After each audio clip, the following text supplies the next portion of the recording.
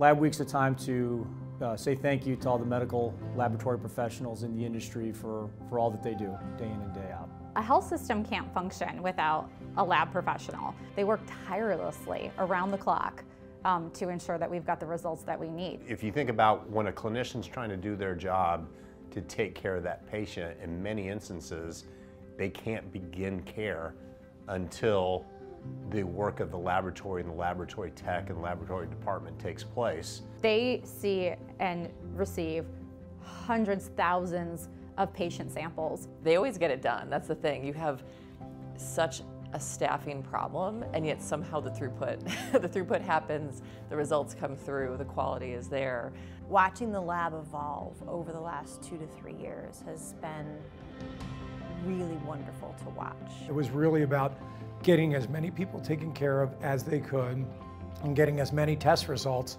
out as they could because you also remember it wasn't just about the people getting tested it was about the data that we were gathering along the way as a result of that testing that allowed us to chase down vaccines, chase down better protocols for safety. All of that was hinging on the number of people that we could actually test. So they were very much part of the frontline workers, and in many cases, sometimes were, you know, forgotten. They're the unsung heroes of healthcare. It's amazing how the lab individuals have developed and continue to thrive no matter what the world throws at them.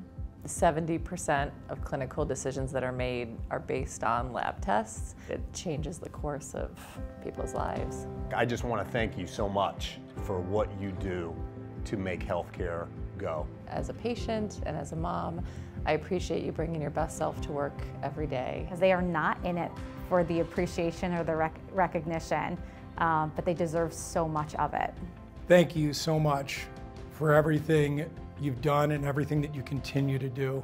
Your resilience, your willingness to support the healthcare industry over the last few years is amazing. And I know myself, my family, and so many of us have relied on the work that you do. So I hope you know how important that is and how much you mean to all of us.